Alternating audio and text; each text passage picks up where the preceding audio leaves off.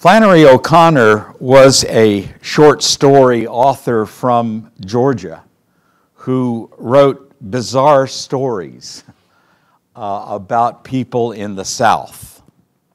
Her stories are so strange that she's sometimes called a, a Gothic short story author, writer, uh, like people who put on Gothic dress and makeup. It's, they're very dark at times. One of her most quoted stories, uh, at least by Christians, is entitled A Good Man is Hard to Find. The, the two main characters are a grandmother traveling with her son and his family to Tennessee, uh, and an escaped convict who's called the Misfit, who's on a murderous rampage in the South. After her son has an accident, uh, driving the car on a backcountry road, they're stranded. And guess who comes along to find them? The misfit. After taking the rest of her family out to the woods and murdering them, he sits down and has a conversation with this grandmother about Jesus and the resurrection. Then he murders the grandmother. Flannery O'Connor, uh, who was a Roman Catholic, was questioned why she wrote such bizarre and violent stories.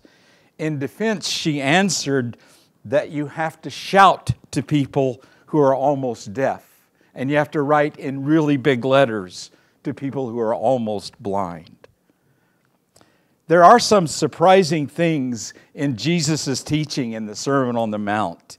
He, he he, he says calling people names in anger can lead you to hell. He talks about fighting lust by cutting off your hand or plucking out your eye. The strangeness continues this week in his brief but very powerful teaching about divorce and oaths. This is Jesus speaking loudly to almost deaf people and writing in big letters to almost blind people. If you take him in a, in a really rigid, literal way, without understanding the setting and the point he's making, it's easy to misunderstand him. This explains why, as Brad told us last week, in, there was an early church council that actually wrote to the church and said, Stop cutting off your hands. People who misunderstood Jesus. It also explains why we, we've spent more time in our introductions to explain the, the background of Jesus' teaching. We really want to help you, his followers, his disciples. We want to help you read the Sermon on a Mount in a way that makes sense of the teaching and, and helps you to live a flourishing life. His yoke is easy and his burden is light. He really is gentle and humble of heart. But at the same time, there's teaching that we need to hear. There is a yoke that we need to put on. There is a burden to bear in this teaching. There are two examples of greater righteousness that we take up today. Uh, they relate to one another as well as to what has gone before. Uh, in the previous example of greater righteousness, Jesus explained the true meaning of don't commit adultery. The true meaning is, is that adultery uh, is just as much about what is going on in your heart as what you're doing with your body. The big idea of, of that passage could be paraphrased as be true to your marriage vows and keep the marriage bed undefiled, in the words of the writer of Hebrews.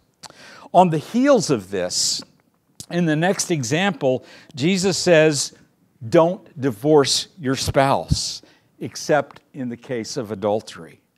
Then Jesus introduces another example of, of greater righteousness that has to do with speaking oaths. In our Bible study, John Stott actually combined these two together in the same lesson under the heading of faithfulness in marriage and speech. And that really is the big idea of today's message.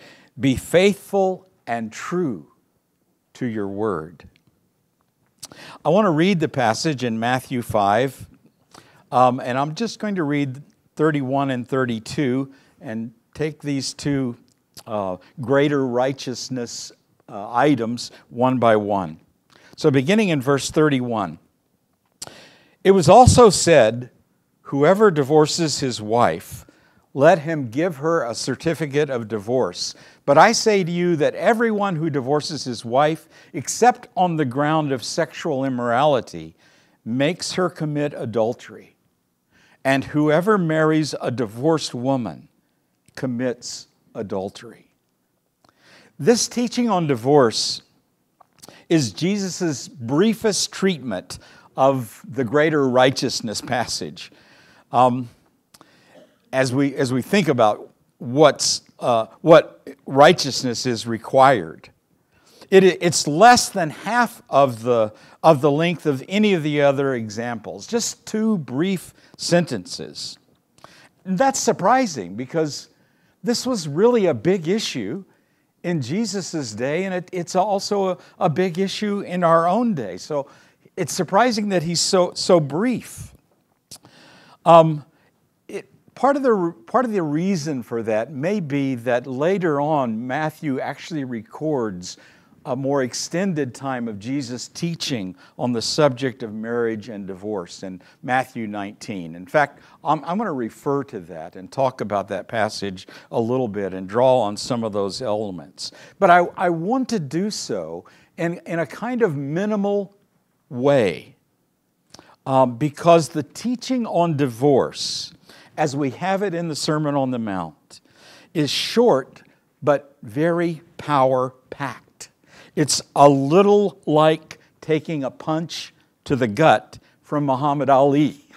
I mean, it's going to it's going to knock the breath out of you. And we should, I think, experience it that way, even as we read and as we preach it. But I want to, I want to, to front what I'm going to say with, with this pastoral concern. So I want everybody to make sure you hear what I'm going to say right now.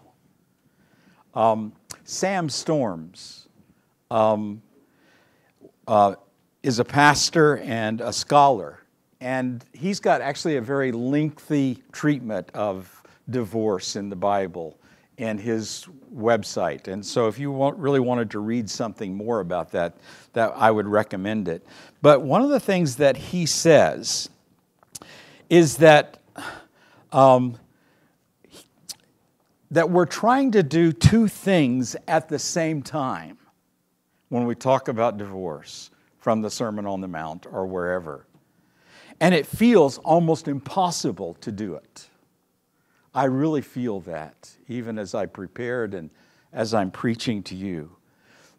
Two things. On the one hand, we are trying to uphold the value and the seriousness as well as the beauty of marriage. And at the same time, we want to minister grace and love and mercy to those who have gone through the disappointment and the stigma of divorce. I'm going to come back to those two things later and address the concerns more, more directly. Um, I'm just talking about it here right now because I don't want anyone to despair over Jesus' teaching. Jesus' teaching is the best medicine for our souls, but we're going to have to sort it out carefully and understand all that Jesus would say to us. And here's just a really important observation Jesus actually is not addressing divorced people at all in this teaching. He is addressing married people. So if you've been through a divorce, I want you to just take a deep breath listen to what Jesus has to say and gain his wisdom, but recognize that he is not shouting at you. in these words. The Old Testament teaching that Jesus refers to um, is actually comes from Deuteronomy chapter 24, verse 1. And, and I want to read that passage. When he, when he says, You've heard it said, this is what this is the passage he's quoting. When a man takes a wife and marries her, if then she finds no favor in his eyes, because he has found some indecency in her, and he writes her a certificate of divorce and puts it in her hand and sends her out of his house, and she departs out of his house. The passage goes on to forbid the original husband from marrying that woman again once she's left his house, once he has divorced her. That part of the passage is actually not relevant to what Jesus is going to say. What is relevant is that there was strong disagreement about the meaning of this passage among the Jewish people. This disagreement is exposed actually from the question that came to Jesus through the Pharisees in, in Matthew 19, where they, they come up him, to him and they come to test him. That indicates that it was a controversial subject.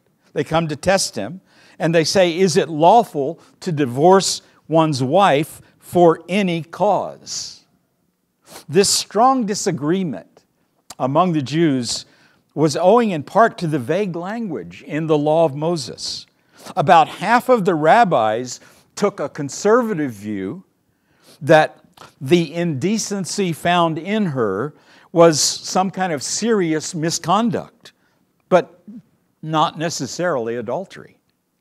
At the same time, there was a, a more liberal minded interpretation of Moses that allowed divorce for any cause whatsoever.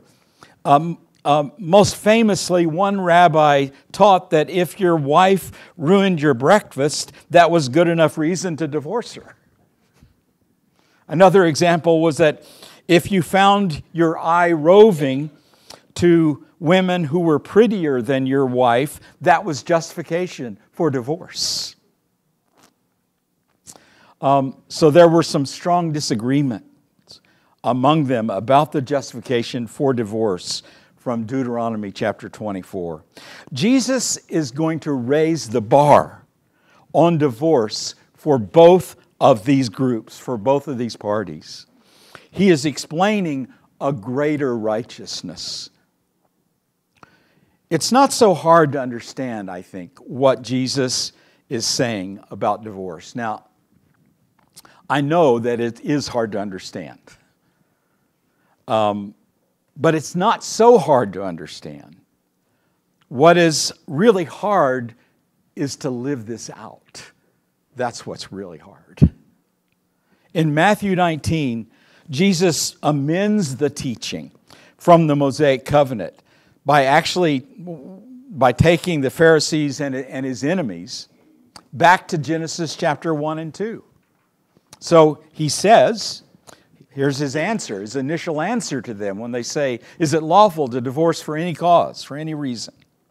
He says, Have you not read that he who created them from the beginning made them male and female?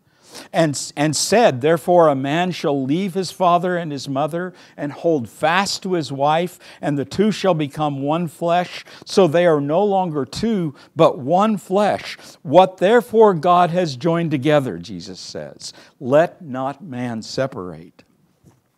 Jesus is really not enacting a new legislation, new law about marriage. He's reminding them of God's original design. Brad told us about this high view of marriage last week, but I actually want to repeat some of the things that he said.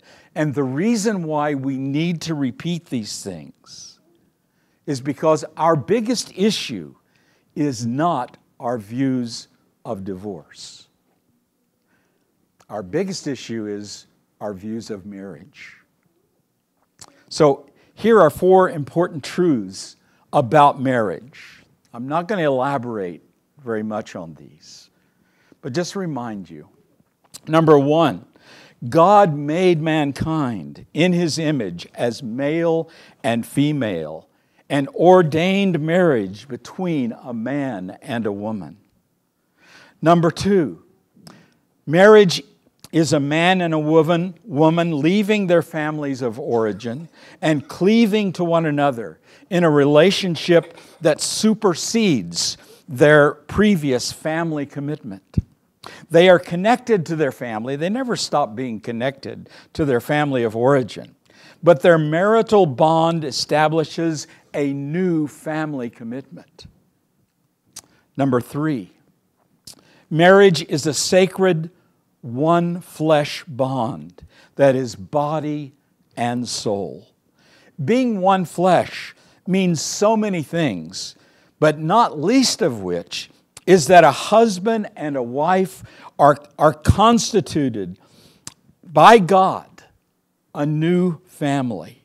Marriage has the purpose of companionship to alleviate aloneness and partnership to rule together over God's creation and procreation of children to multiply and fill the earth. And finally, the marriage bond is a permanent relationship that is not to be broken. Let not man separate, Jesus says. Jesus does something new in Matthew 19. He does do something new. He enacts new guidelines for kingdom disciples that set aside Moses and the guidelines for ancient Israel. So he said to them, Because of your hardness of heart, Moses allowed you to divorce your wives. Do you see how divorce also is a heart issue, just like every one of these things that we've looked at in Matthew 5?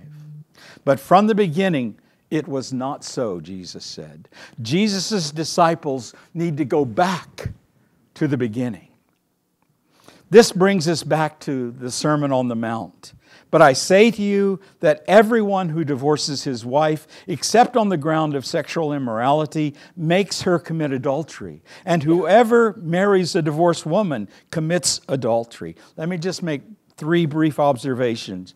Jesus addresses husbands, actually, in this teaching. And the greater burden is on their shoulders, at least in the first century. Jesus, secondly, Jesus assumes that wrongful divorces and remarriage are going to take place. He assumes that in his teaching. And then he raises the bar for everyone that the greater righteousness of the kingdom is don't divorce your spouse except on the, in the case of adultery. So, how do we walk the knife edge of truth between upholding the value and seriousness and beauty of marriage and also ministering grace and love to those who have gone through the disappointment of divorce. Here's my attempt to do that. I, I want to actually address you as three, in, as three different parties, three different groups. So the first I would, I would address is just simply Jesus doesn't address divorced people here, but what would Jesus say to the divorced? You know, again, for those who are divorced, it's hard not to hear this and feel like Jesus is shouting at you, but he's not. Secondly, there are exceptions that allow for divorce, and I think that's really important to say here. One exception is addressed here infidelity to the marriage vows. There are other exceptions, and I'm not going to talk about those in this, in this sermon at all. I'm going to focus on what Jesus is saying, and he simply gives one exception, but I, along with many Bible believing pastors and church leaders, believe that the New Testament does also describe some other exceptions. Um, and the, the advice and counsel that I would give to you is that if you're troubled about this and you, you haven't been able to sort it out, is I would really encourage you to find a spiritual leader that you trust that can help you work through those issues uh, if you need to do that. And if you're a married person here and you're thinking about divorce, I would strongly encourage you to, to do the same. Here's something else I'd say to the divorce. We, we've, we've quoted this verse again and again. Come to me, all you who are weary and heavy laden, and I will give you rest.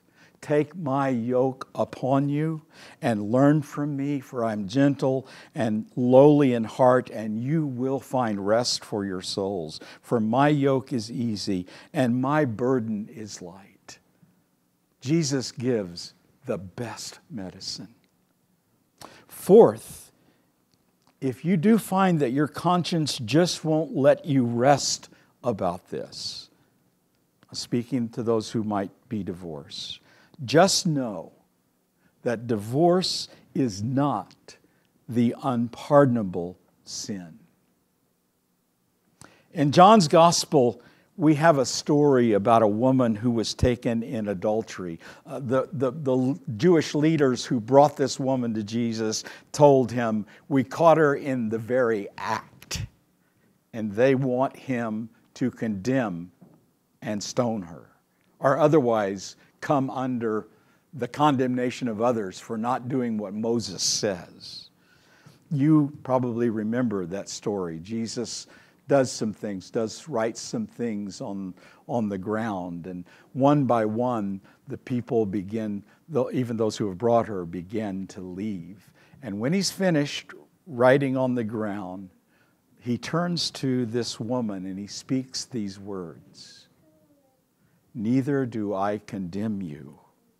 Go and sin no more. The gospel of the kingdom calls for repentance when we need to repent, and it extends grace for forgiveness when we need His forgiveness. That's what I think something of what Jesus would say to divorced folk. What would Jesus say to the church? What would he say to us? Well, to leaders, I would say that there are times when the really hard action of discipline, church discipline, will need to be exercised to help brothers and sisters come to their senses. Sometimes that will be called for. But my counsel is to use it sparingly and only in the clearest cases. Before discipline happens, the leadership and the members of the church, so I'm addressing all of us now, whether you're a member or just a regular attender, the, the, the leaders and, and members of the church need to do the really hard work of getting involved and helping others to reconcile. I mean, here we see where this teaching connects with the Beatitudes. Blessed are the peacemakers. We should be involved.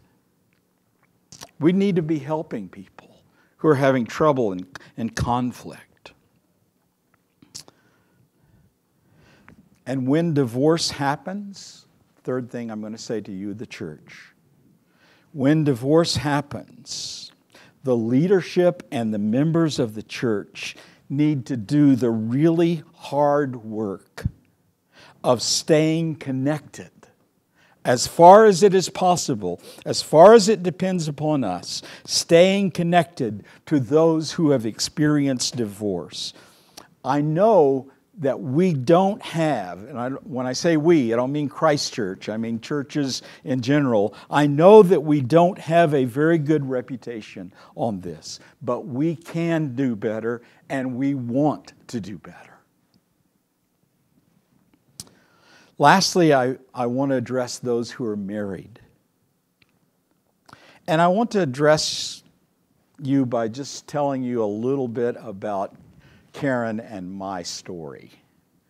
Um, I, of course, asked her permission to do this.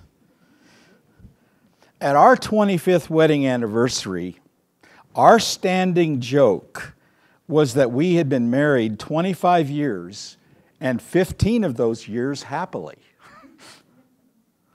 um, except Karen usually said 10 years, and I exaggerated and said 15. Our marital relationship, I've compared it to this on more than one occasion, and it's interesting there's just a new movie about this relationship made in the last year or two. I compared our relationship, it was kind of a, had a Desi, Arnaz, Lucy dynamic to our relationship.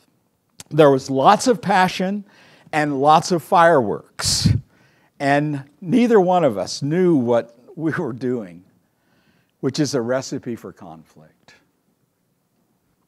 Um, I, I think I've said enough. You get the picture. Two practices kept our marriage intact. We've been married now for 49 years. Two practices kept our marriage intact. One, we were clear before the Lord. When we got married, we were clear before the Lord with ourselves and with one another that divorce wasn't an option unless we encountered an exception. Our marriage is a testimony that, that marriages that are not doing very well. I, I want to say bad marriages because there, there are bad marriages. And there were times when ours was really bad. I just want to say that by the grace of God, that if you keep going in the same direction, although it may be a really long journey, bad marriages can get better. they can. So that's the first thing. We made up our minds. That wasn't an option unless there was an exception. Secondly, we developed the practice, and this is really important. It, it, these two things just go side by side. We developed the practice of confessing our specific sins in the marriage relationship to one another daily when we committed them, when there was an offense and extending forgiveness to one another when we did that. We practice don't let the sun go down on your anger. And folks, there were times when we failed to do that. I, am laying there with the covers up to my chin saying, When is she going to admit?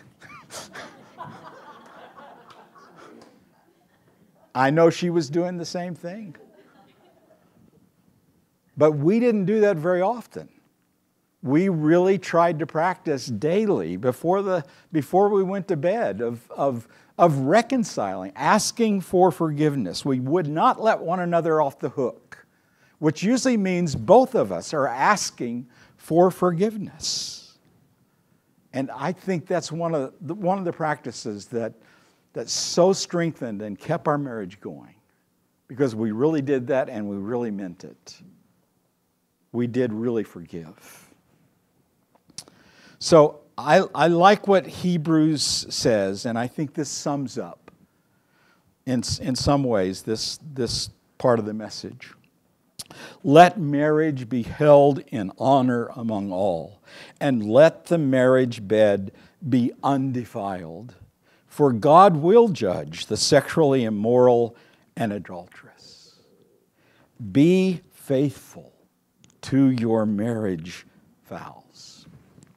Which brings us to the second part of, of today's sermon, and it won't be quite as long.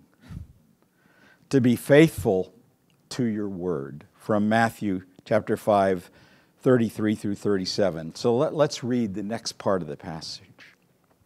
Again, you have heard that it was said to those of old, You shall not swear falsely, but shall perform to the Lord what you have sworn. But I say to you, do not take an oath at all, either by heaven, for it is the throne of God, or by the earth, for it is the footstool, or by Jerusalem, for it's the city of the great king. And do not take an oath by your head, for you cannot change one hair white or black. Let what you say be simply yes or no. Anything more than this comes from evil.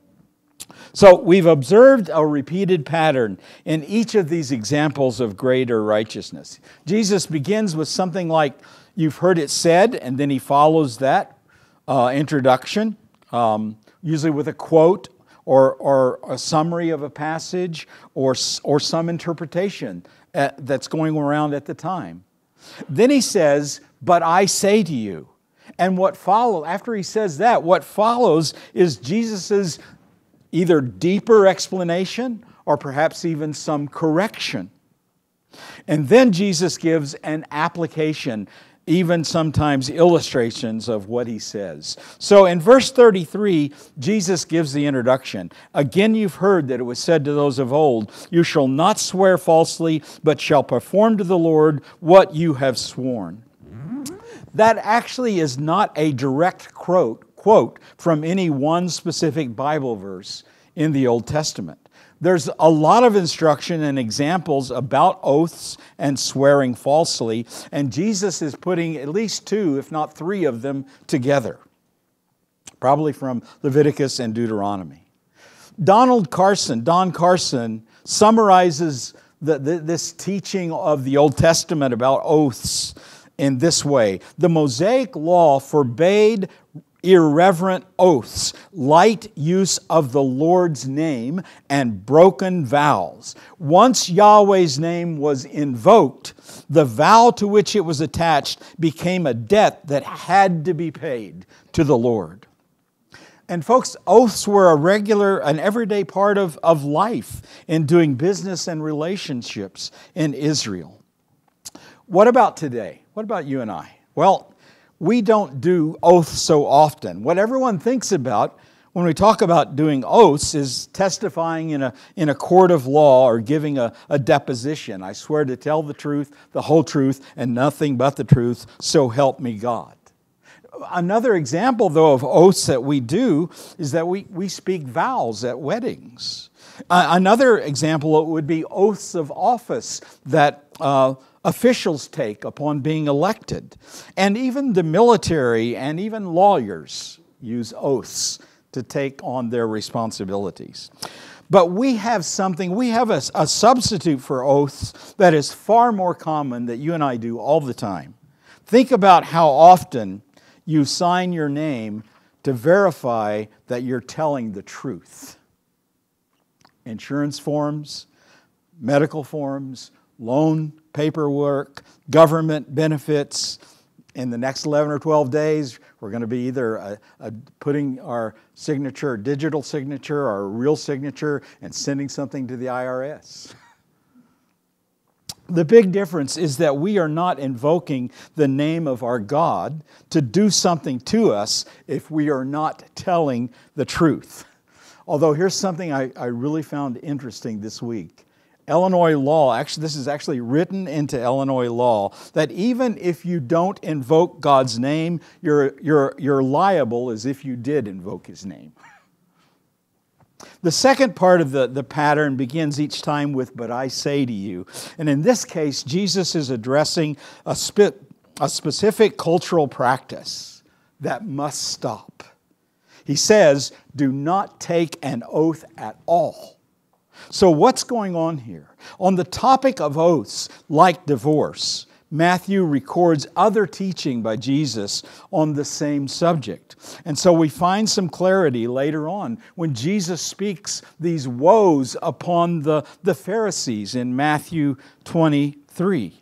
And what, we're fi- what we find out there is that the, the Pharisees and the Jewish people in general had developed a very calculated way of making an oath that allowed you to actually deceive people as to your true intent and what you were going to do. So, the example, I'll just give you one of the examples that Jesus addresses. He says, Woe to you, blind guides, who say, If anyone swears by the temple, it's nothing. In other words, you can do whatever you want to if you swear by the temple. But if anyone swears by the gold of the temple, then his, he's bound to keep his oath. Do you see the hypocrisy of that? You can swear by the temple and it means nothing. Meaning you can break your oath. But if you swear by the gold of the temple, then you have to keep their oath. There was a whole system of carefully graded speech that allowed a person to deceive and lie without liability. That's the situation that Jesus is addressing. And we see that clearly in Matthew 23. The third part of Jesus' pattern of, of teaching is an application. And here's, here's the first application he makes. Because of this deceitful practice, Jesus says, don't swear an oath at all. These are words that again have the, the metaphorical impact of shouting at deaf people. Some Christian groups, like Quakers and sects like the Jehovah's Witnesses, have understood this, the, Jesus to be giving an absolute prohibition on using the words of a solemn oath, like in a court of law. Their zeal for Jesus' words, I think, is really commendable, but I think they have made a wrong interpretation. There are many examples of, of God speaking oaths to his people to strengthen their faith and confidence in his word. Eh, the psalmist reminds Israel that God spoke an oath to give them the land. God swears to King David that he'll have someone to sit on his throne forever. God swears that there will be a, a priest according to the order of Melchizedek to represent his, his people. And there are many more examples of God making oaths to people to strengthen their confidence in His Word. There are also New Testament examples of oaths being spoken. For instance, by the Apostle Paul, he takes a Nazarite vow that's recorded in the book of Acts and fulfills this vow with several others who are doing the same. And in his second letter to the Corinthians, he calls God as his witness, that he's, that he's not lying, but telling the truth. So we need to recognize that in context, Jesus is not condemning oaths, but in swearing falsely with spiritual cover ups to actually lie, to commit deceit. That must stop. Better to say no oath at all than to, than to do that. The positive thing that Jesus also says is let what you say be simply yes or no. Anything more than this comes from evil. In our everyday life, simplify your speech and speak the truth. That's really the takeaway from this. Simplify your speech in everyday life and speak the truth. I think there are some other ways that we can live out Jesus' teaching here.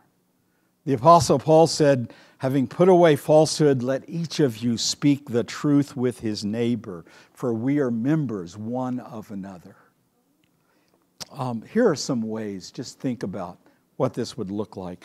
To be truthful in our everyday speech with one another First of all, it, let me qualify it. It doesn't mean that we have to reveal everything about ourselves. It doesn't mean that. Truth telling means that we are careful not to misrepresent ourselves. We need to be careful about that. Not repre- misrepresenting ourselves in our achievements or in our failures. Truth telling means that when we sign our name to something, we'll be doing that this month. Let's be careful that we are being accurate and not fudging the truth for financial reasons. Finally, let's be faithful to our word even when it hurts. John uh, was a brother in the Lord and part of the same church that Karen and I attended in the 1970s when we were uh, going to school at Moody. Uh, John was a vocal and effective witness for Christ. In the years that I knew him, he led many people to Christ. And I know that he continued to do so. He was also a recognized leader in the church and in the, the business community. In business, he, had, he was a broker in the steel business in Chicago. He started his own steel business, his own steel company, after many years of experience. He wasn't making steel, he was a broker for steel. So he really knew the business. His business prospered in ways that allowed John to give away thousands of dollars for the kingdom, and he did. He was a very generous man. And he actually gave thousands of dollars as well to help people escape from persecution in the Middle East. He, was, uh, he looked like Danny Thomas, almost exactly, and he was actually an Assyrian. And he was very involved in, in helping people out of persecuted situations in, in the Middle East. In the years I knew him, John signed a contract with a firm to purchase a very large delivery of steel, a warehouse full. Before the shipment arrived, the bottom fell out of steel prices, which meant that if he received the shipment at the price his contract said he was paying, he would never get his money back um, if those prices continued at that same rate. It was such a large amount of steel uh, and such a large amount of money that it would probably ruin his company. He asked around the industry and he was advised that companies in his situation usually just broke the contract if the seller wouldn't give relief, and the seller was not giving him any relief. But based on Jesus' teaching, John felt that he needed to be true to his word and trust God to take care of him. Now, folks, as far as I know, his company never recovered from that purchase. But here's what John said He said, We did the right thing by keeping our word and maintaining our integrity and we made, we made a witness for Christ in our industry, in our business. Psalm 15, verse 2 and following says, He who walks blamelessly and does what is right and speaks truth in his heart, who swears to his own hurt and does not change, shall never be moved. You know, we may suffer loss in this world if you keep your word, but you will never be moved in the kingdom of God if you are faithful to your words. I want to invite you to stand with me.